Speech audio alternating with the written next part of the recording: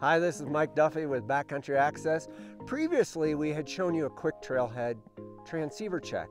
This is something we do every time we go out. What I'm going to show you now is a more thorough transceiver check where we're actually checking the effective range of the transceiver.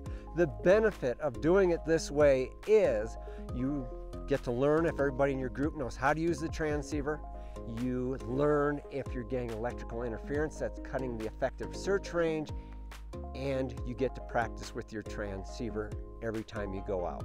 The way we go through this is we'll have everybody in the group gather together, everybody switches the transmit, everybody relays the battery strength that showed up on the screen. Then we have everybody go to search.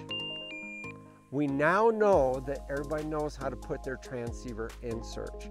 At this point, the leader would switch back to transmit and everybody will walk away from the leader and they'll walk out and they'll actually drag out the range farther than they usually would because they're locked onto the signal. It's called signal drag.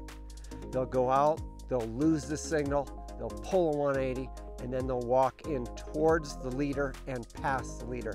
When you're doing the walkout to check the range of the transceiver, if one person does not have the range of the others in the group, this is a good time to check for electrical noise. Do they have electric gloves on? Do they have a smartwatch on? Do they have any electronic device that is cutting the effective search range of the transceiver?